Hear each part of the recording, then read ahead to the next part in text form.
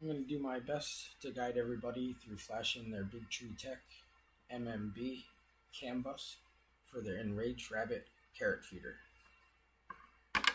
First, we want to make sure that you have a USB cord coming from your Raspberry Pi.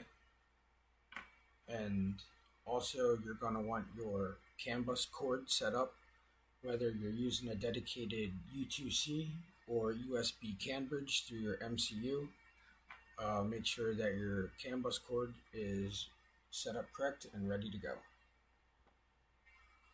We're going to head over to Esoterical's guide. This is where we're going to grab all our copy and paste commands. He has a well written guide for almost every MCU out there to flash with Katapult and Klipper.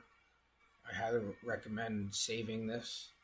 We're going to be references this referencing this the entire video. Um, I'm going to assume that you know how to SSH into your Pi and that you have Katapult installed. I also want to warn you guys that I have two CAN bus networks in my system.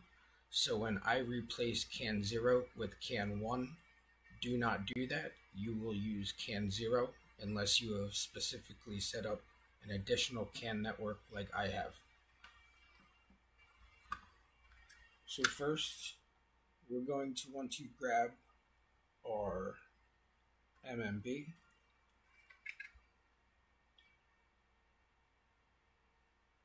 And our 5 volt jumper. And we're going to want to install it on the V USB prongs.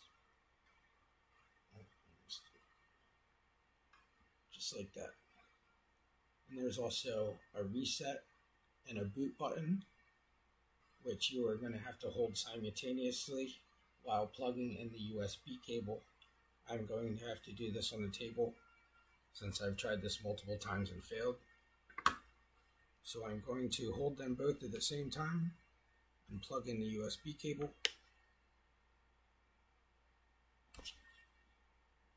I know you can't see it great, but I'm holding both boot button and I'm plugging in the USB cable. Now release both buttons. And if we did correct, we're going to go to Esoterical's guide and we're going to grab copy and paste sudo dfu util-l. We're going to copy and paste this and we're going to enter that into our command line.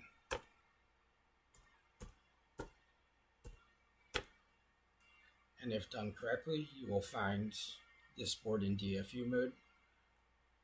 The ending prefix is important where it says 0483 DF11. This is a default uh, setting. This has never changed on me, but it could. So if yours has changed, make sure that you use this ending while flashing your board.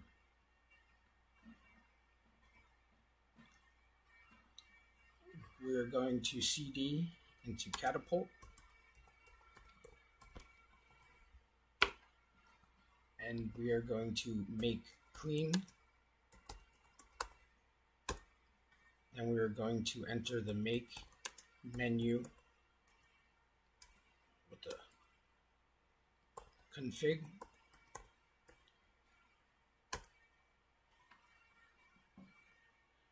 and we are going to make sure that we use the correct settings I have here on my desktop.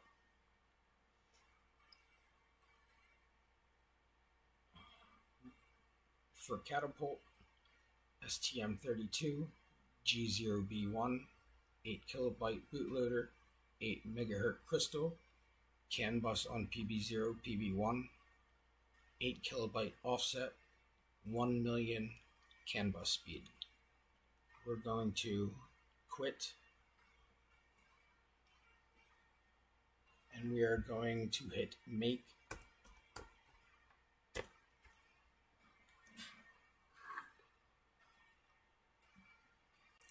we're going to go back to Esoterical's guide and we are going to grab the flashing command copy and paste this right here. Should be done by now. We're going to copy and paste that into our command line. We're going to hit enter. Success. We're going to unplug our USB and this is important. Make sure that we unplug our USB jumper.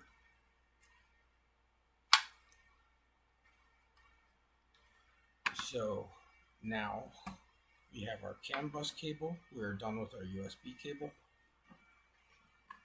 We're going to plug our MMB into the CAN bus cable.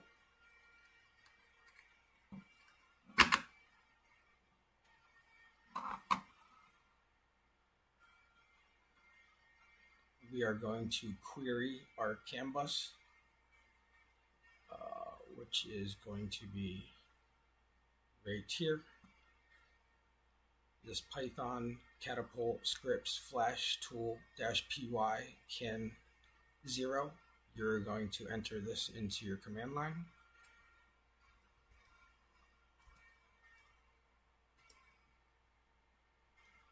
It found our MMB with the UUID 910 ending in C4B. So now we are going to CD into Klipper.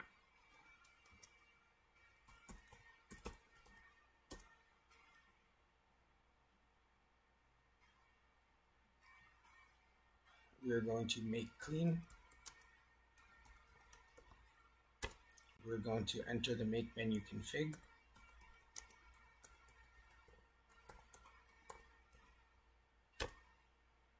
And we are going to use the klipper settings, the klipper config down here in the lower corner.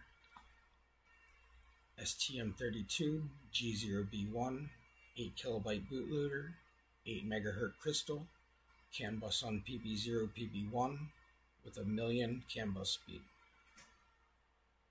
Quit. We're going to hit make.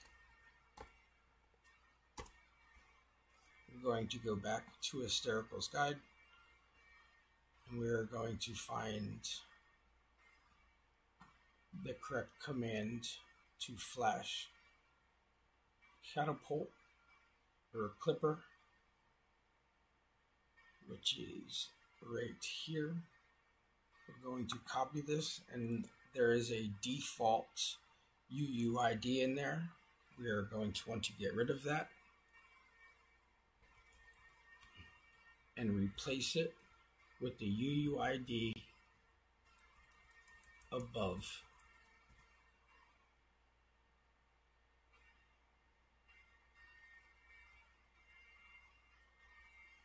We're going to hit enter.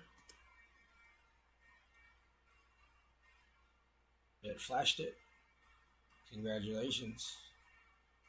You now have Flash Klipper to your Big Tree Tech MMB.